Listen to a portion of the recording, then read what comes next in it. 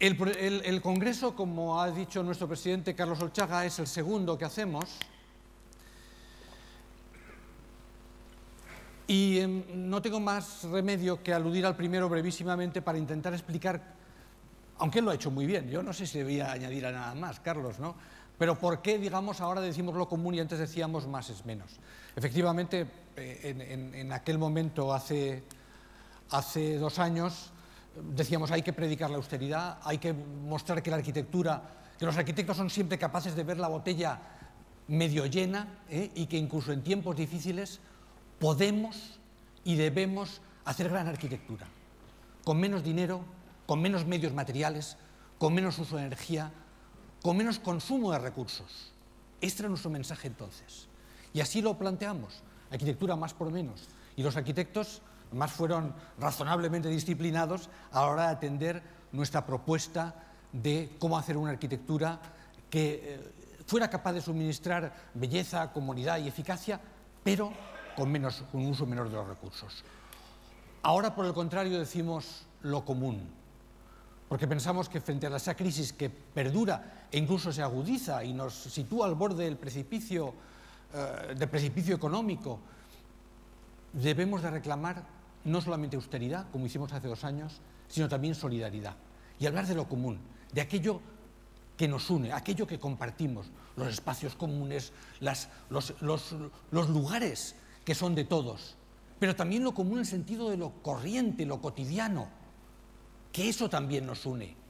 ¿eh? Y, decir que los arquitectos tenemos muchas cosas que decir, no solamente en el mundo de lo extraordinario, sino en el terreno de lo común. De lo común que nos une y lo común que es cotidiano, que forma parte de nuestras vidas. Hace dos años, como digo, pues tuvimos aquí a, tres premios Pritzker, este año vamos a tener otra vez otros tres, siempre intentamos tener cuatro y al final uno falla, ¿no? Pero bueno, pero tendremos tres de nuevo y al final pues despedimos el Congreso pues con buena parte de los ponentes, de los ponentes y debo decir también de los que desde como patronos de la, eh, de la Fundación Arquitectura y Sociedad nos dan la voz de la calle, porque al final la mayor parte de los que intervienen, lógicamente, son arquitectos, pero los presentan siempre patronos de la Fundación y luego los relatores, que tienen una función muy importante, algunos cuales están aquí, François Chaslin, Peter Buchanan, eh, y por supuesto eh, Cosme Barañano, los relatores que tienen una función esencial, que es, además de coordinar las mesas redondas, es hacer entrevistas en profundidad de los arquitectos para que luego pueda salir un libro, un libro como el que hicimos el año pasado, hace dos años, que salió en el otoño de aquel año y que quería recoger lo esencial del Congreso, no tanto recogiendo las ponencias, que a veces pues, una intervención oral, pues, cuando se transcribe, pues, no tiene la misma fuerza que, cuando se presenta en un escenario, sino a través de entrevistas en profundidad. Y esto efectivamente es lo que hicimos hace dos años con, con este libro que editamos en el otoño del año 2010. Decía que el Congreso lo hacen los ponentes, pero también los, patronos de la Fundación y también los relatores. Y quería solamente subrayar que para mostrar, no sé, que quizás estemos un poco en sintonía con el mundo, hace dos años, cuando publicamos el libro, simultáneamente se inauguró en Nueva York una exposición que tenía este título, ¿eh? Pequeña escala, grandes cambios, y que tenía, eh, los arquitectos que exponían eran en buena medida los mismos que habíamos traído a Pamplona. Así que había, digamos, una cierta sintonía entre, entre el, eh, fin, el, aire que hemos respirado aquí en Pamplona y el aire del mundo más general. En aquella ocasión, como veis, el catálogo del, Museo de Arte Moderno de Nueva York eh, estaba ilustrado con una obra de unos arquitectos que estuvo aquí también, Dievedo Francis Queré, que ya nos dijo entonces, y por eso lo traigo ahora a colación, nos dijo, sí, en situaciones de crisis, pero también en situaciones de recursos escasos, como él vive en sus, en fin, en sus, obras en, Burkina Faso o en Mali, dice, no es, no es solo importante hacer más con menos, también debemos de crear la solidaridad, esa solidaridad que expresan esas manos de mujeres que están preparando ¿verdad? el material con luego se van a construir las viviendas. Al final, la crisis exige lo comunitario, exige lo colectivo, exige lo común. Así que ya hace dos años empezamos a pensar en lo común. Y nada resume mejor lo común quizá que este, este, pozo en la India, ¿verdad?, en el que una, una, aldea recoge agua con cubos, ¿no? y esa geometría exacta del pozo que nos habla de cómo a través, en este caso, la pequeña ingeniería o la gran ingeniería, ¿verdad?, de un pozo puede generar ese sentimiento comunitario de aquello que todos compartimos, el agua. Digo esto porque me ha gustado mucho cuando Carlos Olchaga ha dicho que no debemos de ser mezquinos en nuestra visión y que lo que pasa lejos nos afecta también, porque a fin de cuentas nuestro territorio común no es ni siquiera no es Navarra, no es España, no es Europa, es el mundo, es el planeta. Un planeta que desde que lo pudimos ver desde el Apolo, ¿verdad? Desde, eh, nos ha fascinado siempre como, como, la nave espacial Tierra, como la llamó Fuller, ¿no? que viaja en el espacio con todos nosotros dentro y somos pasajeros de esa nave la que tenemos que cuidar. Sin embargo, esa nave podemos ver a través de las imágenes de la, de la Tierra iluminada cómo hemos digamos, ocupado buena parte de los territorios en los climas eh, templados. Estos son los barcos que en algún momento dado circulan por, los océanos, hemos conquistado el aire, hemos conquistado, hemos conquistado en primer lugar la tierra, después el agua, estos son los aviones que circulan en cualquier momento, eh, el, aire también, por tanto, e incluso el espacio exterior, con toda la basura que ahora mismo rodea a nuestro planeta. Así que la tierra, eh, el agua, el aire y el espacio exterior han sido colonizados por nuestra especie. ¿eh? Vivimos ya en, un mundo enteramente artificial. Y ante eso, ante esa conciencia de que vivimos en un mundo que es nuestra casa común, se hizo hace 20 años una reunión en Río que hoy tiene su segunda edición, Río más 20, que se inaugura dentro de unas horas en esa ciudad brasileña y donde tenemos ¿verdad? Pues a tu ministra, ¿eh? con eh, el presidente Rajoy y un grupo de, de ministros del Gobierno de España junto con 100 presidentes y jefes de Estado de todo el mundo, reunidos en Río para examinar qué ha ocurrido en estos 20 años en el planeta. Y casi todas las noticias son malas. Casi todas las noticias son malas. De los 90 objetivos que se pusieron entonces, solamente hay buenas noticias en tres de ellos, o en cuatro, o en cinco. Un drama. Un drama porque al final seguimos considerando la Tierra como un objeto de comercio, un objeto de comercio y entonces la crisis climática que está produciendo alteraciones eh, formidables, un proceso de desertización y al mismo tiempo de fusión de las masas eh, de hielo de, eh, árticas, transformando el clima y al propio tiempo entrando en resonancia con una crisis energética, el ocaso de los combustibles fósiles. El ocaso de los combustibles fósiles que son los que han alimentado la cultura en la que estamos. Esa cultura que nos permite estar aquí reunidos con aire acondicionado, en un edificio confortable, teniendo paz, seguridad, libertad, todo eso se debe en parte a esos combustibles fósiles, a esa disponibilidad de energía barata que ahora sabemos que está llegando a su fin. Y esto tiene mucho que ver con la arquitectura. Estas dos imágenes son, la de arriba la reconocerá enseguida, es Los Ángeles, imagen tantas veces repetida, la de abajo es Madrid. No son tan distintas. Son dos ciudades hechas a través de la misma herramienta, que es la casa individual y el automóvil individual. Justamente lo contrario de lo común. Hemos destruido nuestras ciudades para suburbanizarlas. Y pensaba yo que una buena forma de empezar a plantear los debates de este Congreso era decir, necesitamos recuperar la ciudad en lo que tiene de densidad. Porque al final esto, esta es la imagen que un grupo holandés, US 8, y esto lo digo para que me escuche especialmente nuestra directora general de arquitectura, está muy bien lo que has dicho, rehabilitar, desde luego, reconstruir, dar más densidad. Esto es lo que un, montaje que hicieron una sala en una galería de exposiciones, cuando el gobierno holandés lanzó el proyecto de construir 800.000 eh, casas individuales nuevas. Decían, esto va a ser el paisaje de Holanda. Es una masa de casas por doquier frente a la necesidad de agruparnos, de reunirnos, de hacer la ciudad de verdad, la ciudad en la que todos nos sentimos parte de una sociedad. Le Corbusier lo hizo todavía mejor, hizo este dibujito y escribió debajo un rótulo y dijo, un sueño, la casa, la casa como sueño, la casa como, como a lo que todos aspiran, ¿no? multiplicado por dos millones igual una pesadilla. Esa es la realidad. El sueño, cuando se multiplica por dos millones, se convierte en una pesadilla. Y esto es el, el, emblema tradicional de los arquitectos, la torre de Babel que desafiaba al cielo. Hoy nuestra Babel es una Babel horizontal. Este es nuestro principal riesgo.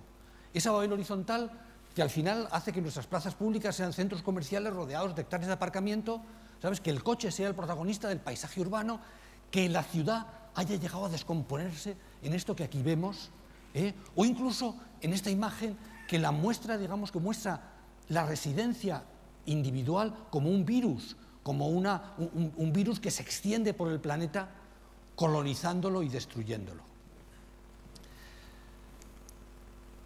Pensamos que la ciudad verde, que la ciudad jardín, es verde y extraordinaria, pero esa es la realidad de la ciudad, de la ciudad verde. Esta es la realidad de la suburbanización. Y frente a eso a lo mejor hace falta exagerar, pero hay que decir, no, el césped no es ecológico, lo que es ecológico es el cemento. Necesitamos esto, necesitamos densidad. Yo sé que cuando digo esto algunos dirán, qué barbaridad, ¿no? ¿Cómo se puede predicar esto? Sí, esta es la ciudad que nos hace falta, esta es la más ecológica. ¿Eh? Esta es la ciudad que mejor utiliza los recursos, que reduce los costes de transporte, que reduce los costes de energía en los... Digo estas cosas y, y son cosas obvias, pero cuando uno las dice tiene que repetirlas porque la gente las encuentra inverosímiles. Dos tercios del consumo energético al final se lo llevan la climatización de los edificios y el transporte. Es decir, cosas que dependen de decisiones arquitectónicas y urbanísticas. Los arquitectos y los urbanistas somos responsables de intentar que este consumo colosal se reduzca. Y en síntesis, si preconizamos la ciudad densa, algunos dirán, sí, sí, pero la ciudad densa también es esto. Claro que sí, pero es que esto es más ecológico que una aldea. Al final, incluso en sitios como lagos, eso permite unas estructuras de transporte colectivos razonables. Y algunos dirán, sí, pero fíjate Madrid, sí, pero esto es estupendo. Esto no hay que verlo como un rasgo patológico, sino algo positivo. Como es positivo que la ciudad sirva también para la expresión de los deseos colectivos, a veces del duelo, otras veces de la fiesta, en ocasiones de la protesta. Pero para eso necesitamos la ciudad. Y no la anticiudad, la suburbanización, que es como se ha construido el planeta en las últimas décadas. Porque ya no es la ciudad americana, como sabéis, la ciudad dispersa es la ciudad europea, es la ciudad asiática, se ha extendido por el mundo. Y eso es justamente lo que no queremos. Así que, eh, muy bien, Pilar, rehabilitar. A lo mejor lo hacemos, digamos, porque no tenemos otro remedio, pero es que además es bueno. Es bueno que no intentemos seguir extendiendo la ciudad indefinidamente, persiguiendo ese sueño de la casa.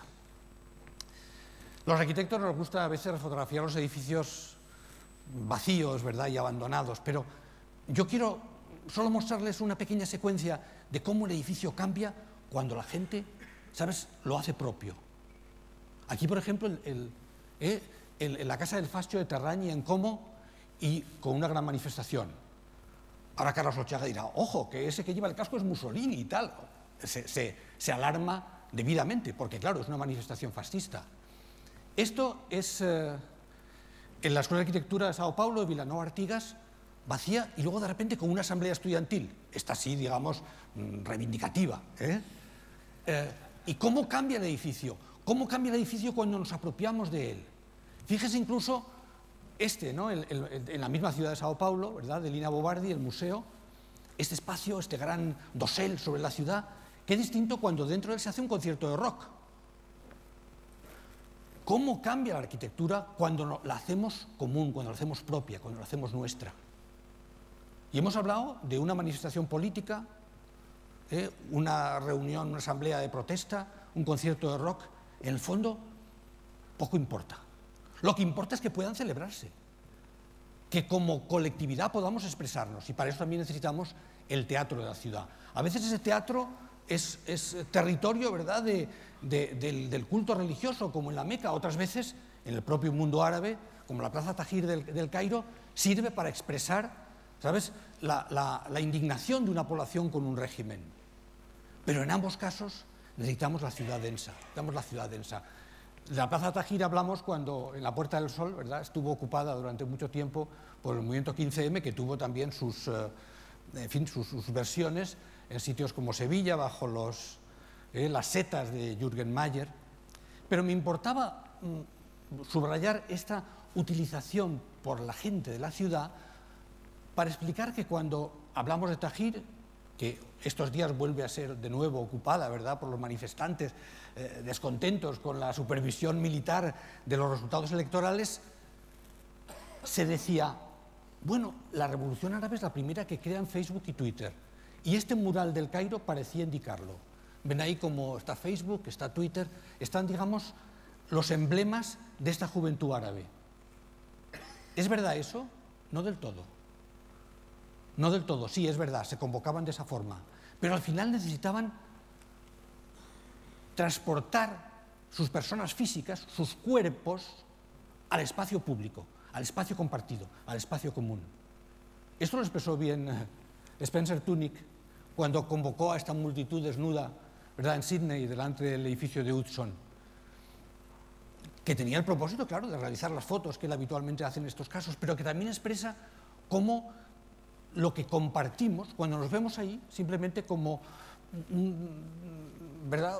en, nuestra sustancia biológica más eh, inmediata, comprendemos que es mucho más que lo que nos une que lo que nos separa. Nos desprendemos de capas culturales y al final son solamente seres vulnerables, pero en este caso agrupados delante de una obra de arquitectura. Por eso, por eso yo quería mostrarles estas imágenes de sol, que luego tuvo también otro rebote en Occupy Wall Street, ¿verdad?, en, Estados Unidos, ¿no? O, en, las manifestaciones, eh, las manifestaciones eh, de la primavera árabe, yo quería mostrarles una secuencia de multitudes en las que se mezcla lo reivindicativo, lo festivo, de manera que resultan casi imposibles de distinguir.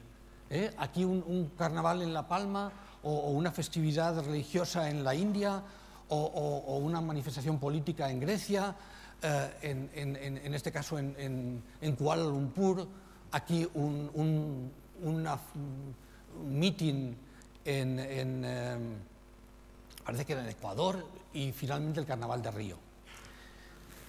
Esta, secuencia, digamos, cromática de multitudes,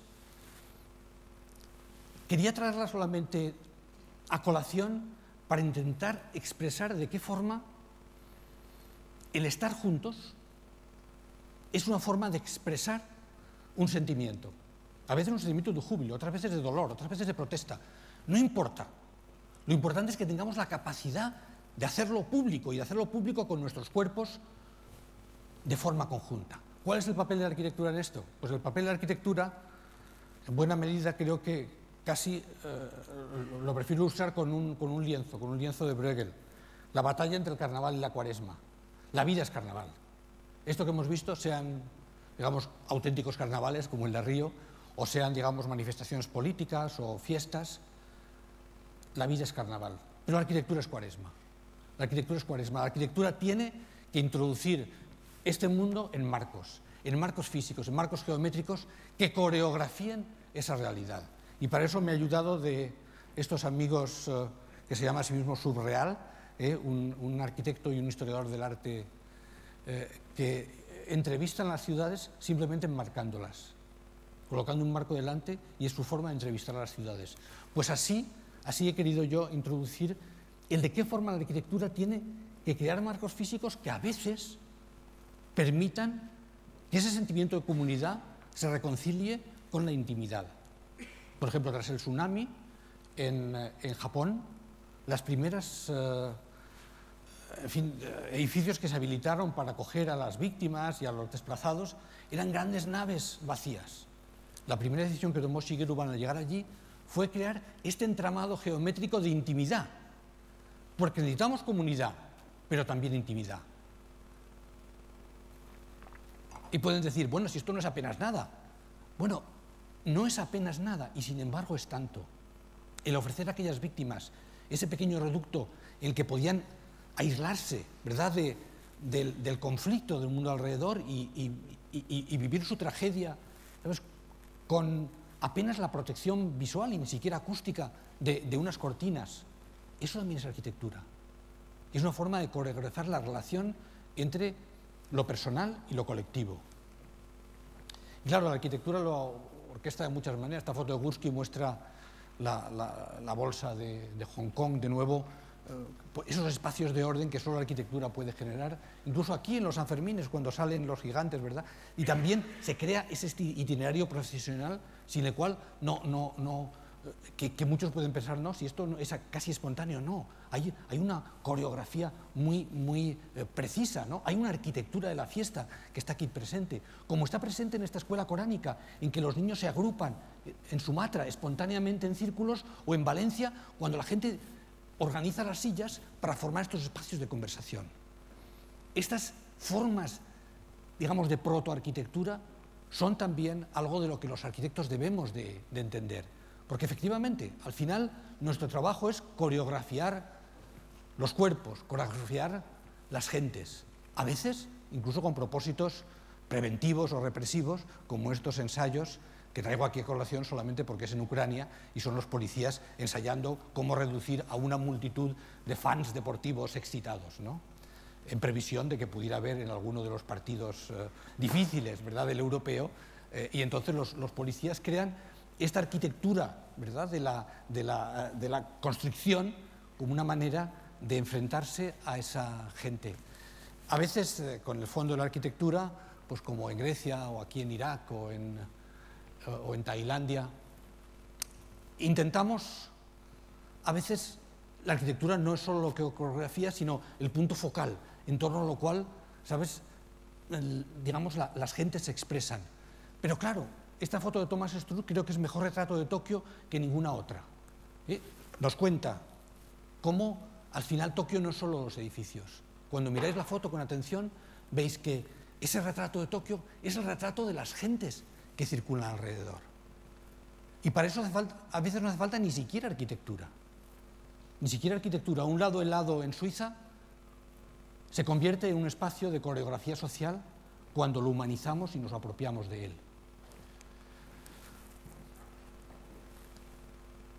Decía antes que los arquitectos nos gusta enseñar fotos con gente y estamos cansados de ver que los edificios se muestran solos, vacíos, ¿verdad? Eh, reducidos a, la, eh, casi a la fruición en su propia geometría. Pero es un error. Los edificios adquieren vida e incluso se, me atrevo a decirlo, se reconstruyen y se, dotan de significado a través de la gente. Esta foto de Saharín es maravillosa, la hemos visto muchas veces de la terminal de la Túa. Imaginaos esta foto sin gente. No es posible imaginarlo. Ese edificio solo tiene sentido cuando la gente circula por él. La gente incluso llega a rescatar hasta los edificios más escultóricos. Edificios como el de, como el de Zaha Hadid en Roma, el Maxi, ¿sabes? O el de eh, Peter Eisman en Santiago, resultan rescatados por la gente. Otras veces es el resultado natural, como en la ópera de Oslo de Snojeta, ¿no? en que la gente camina por encima de las cubiertas. Es la propia o aquí el de Selga Sicano, este, esta especie de, eh, en fin, de, conjunto para jóvenes que usan las tablas y los patines, ¿no? En Mérida. Otras veces es la sección, es la, presencia simultánea de distintos planos de percepción la que nos, la que nos, invita a ver la arquitectura como algo dinámico. Eh, aquí, por ejemplo, en, en la universidad que hicieron Grafton los, arquitectos, las arquitectas, Grafton en, en Milán, ¿no? o, en, el museo que, hizo, hicieron Herzog y de Murón en Santa Cruz de Tenerife, de manera que los itinerarios, la interacción de lo público y lo privado, o si se quiere, digamos, de los itinerarios ciudadanos y los interiores del edificio, construye una arquitectura distinta. O aquí, con David Chipperfield, las escaleras de acceso al Noyes, ¿eh? o Pachi Mangado, en su pabellón de España, en que la sucesión de planos adquiere sentido a través de la presencia en ellos de visitantes. O de nuevo de Mirón con el estadio con el estadio de la Allianz Arena de Múnich, ¿no? No puedo imaginarme este estadio sin que haya partido. El estadio sin partido ¿eh? es un lugar fuera del mundo. Aquí tuvieron la inteligencia de hacerlo además para la selección alemana y los dos clubes de la ciudad, cambiando el color del estadio cada día, de manera que, a diferencia de lo que hacemos nosotros en Madrid, que construimos un estadio para cada club y otro más, un desastre. Pero aquí no logramos convencer ni en Sevilla, ni en Madrid, ni en otras ciudades para que las ciudades compartan estadio. En eso los alemanes, ¿eh? Carlos, nos ganan. Son más racionales a veces. ¿eh? Son capaces de hacer un solo estadio y los hinchas son capaces ¿eh? de, cambiando el color, ¿sabes?, utilizar la misma infraestructura. Pero al final lo hermoso del asunto es la manera en que nos apropiamos de él. Otras veces los que se apropian son regímenes totalitarios, ¿no? como en China, ¿no? donde al final el, espacio digamos, de, libertad vigilada está justamente en los intersticios ¿no? En los, y, no digamos, en el espacio ceremonial que lo preside. Pero así incluso, como digo, edificios tan, tan eh, eh, caligráficos o tan escultóricos como el Niemeyer Naviles resultan al final rescatados por esa presencia de la gente que los usa. No hay nada peor que un edificio vacío. Y a mí me sigue llegando de perplejidad el ver que nuestros colegas eh, eligen fotografiar los vacíos cuando es tan hermoso verlos en uso y, y con una presencia de los que, para los que al final se justifica el edificio. A veces los artistas lo entienden mejor que los arquitectos. Por ejemplo, este Weather Project de la Fleur Liaison en la Tate Gallery, en la sala de las turbinas, es extraordinario. Y es porque expresa cómo el espacio interior de un museo puede convertirse en un espacio exterior, con ese sol ¿verdad? que ilumina a los visitantes. ¿no? U otras veces, también a través del cromatismo, por ejemplo, como este grupo español Boa Mixtura, ¿no? que en las favelas de, de, Sao Paulo, pues a través de, de, esta, del elemento cromático y de las palabras que orgullo, eh, dulzura, belleza, consiguen transformar la percepción del mundo. Y esto es lo que a veces los arquitectos también podemos aprender de los artistas, cosa que no siempre hacemos. En fin, todo esto ha venido verdaderamente sepultado por la crisis, la crisis económica, que no nos hace hablar nada más que de la prima de riesgo, la caída de no sé qué, el, rescate. En fin, nos hemos hecho todos expertos financieros impulsados por esta tormenta que, descarga sobre nuestras cabezas sin saber muy bien cómo. Hace diez años, sin embargo, cuando se lanzó el euro, ¿eh? Eh, eh, una, empresa, vamos, suiza, hizo este logo, Yes, ¿no? con el, emblema del, yen, del euro y del dólar, pues dando una, prueba de confianza a este lanzamiento. Y, el arquitecto más influyente en el terreno ideológico, Ren Koolhaas, le dio esta versión en la que le daba vuelta al, mapa mundi y usaba el mismo lema del Yes. Pero en el caso de Coljas, entendiendo solo este lanzamiento del euro como algo exclusivamente económico. Por aquel entonces hizo una bandera de Europa ¿eh? y la llamó la bandera del código de barras, fundiendo las banderas europeas en un código de barras para transmitir el mensaje Europa no es otra cosa que una alianza comercial, que es justamente lo que no es. Y llegó a hacer incluso un mapa de Europa que le llamaba el, el, el mapa de las marcas, ¿no? donde a cada país se representaba a través de marcas. No muy acertado, porque incluso en la península ibérica, ¿sabes? Pues las marcas no me parecen las más representativas, incluso con las dos revistas de arquitectura que acaban cerrando el plano, ¿no? Pero en todo caso el mensaje era nítido. Esto es lo que apoyamos, el yes planetario, eh, la bandera del código de barras, la Europa de las marcas. Y si ustedes dicen, no, pero este es el Coljas de, hace 10 años, yo les digo, este es el Coljas de hace 10 minutos. Esta es la exposición del Barbican Center, que estuvo abierta en Londres a, principios de año. Y si se acercan, pueden ver enseguida cómo los mismos elementos, el YES, el código de barras, la Europa de las marcas, siguen ahí. Entonces esto es profundamente, eh, yo creo que tóxico, y es justamente contra lo que tenemos que luchar porque Europa y el euro merece defenderse, pero como un proyecto cultural, un proyecto ético, un proyecto solidario, un proyecto común de los europeos, no un proyecto común solamente de los mercaderes. De nuevo, como nos ocurrió hace, hace dos años, después de lanzar el, en fin, nuestro, nuestro congreso con el lema Lo Común, pues ha habido otra gran institución, en este caso la Bienal de Venecia, que ha lanzado su, su bienal bajo el lema Common Ground. Con lo cual, obviamente, pues hay, hay muchos elementos eh, eh, y por eso he querido poner nuestro cartel frente al de, al de Venecia. Y de hecho, cuando me han pedido a mí que haga una de las exposiciones de Venecia, pues yo he querido hacerla de nuevo con estudiantes, mostrando maquetas que quieren ser de nuevo la presencia del cuerpo, la presencia de la gente, ¿sabes?, en el marco de las instituciones. Pero no me extiendo más. No me extiendo más y brevemente os digo que la organización de las jornadas, como ya he dicho, eh, la iba a inaugurar Norman Foster, ahora la inaugurará Ana Heringer, Norman será el segundo, así que Ana será nuestra primera, pero yo tenía todavía en mi PowerPoint la, en fin, la imagen de Norman como primero a intervenir con una eh, foto de su, de, su en fin, de, la cubrición del, patio interior del British Museum, que también muestra cómo, digamos, genera un espacio eh, ciudadano en el interior de, un edificio Em, Ana y Solano Benítez, que está también por aquí, en algún sitio, Solano, ahí, eh, no sé cómo no lo puedo ver si es el arquitecto más alto de América Latina, según se jacta, ¿eh? pues nuestro arquitecto paraguayo, que ha hecho cosas bellísimas, ¿verdad?, como esta imagen de la tumba del padre, y estará en diálogo con Ana Heringer al final del día. Em, Ana, como digo, hablará primero, eh, Solano después de Norman, y después la, mesa redonda será coordinada por Peter Buchanan, que está ahí oyéndonos por los auriculares. Espero que se las arregle luego ¿eh? para encontrar entre todos un lenguaje común. La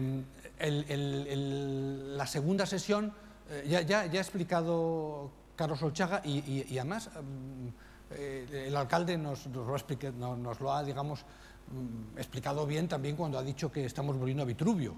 ¿eh? a las firmitas utilitas venustas. Efectivamente, la firmitas era la primera sesión, las cosas que tienen que ver con el cobijo, con la arquitectura en entornos más precarios, etc.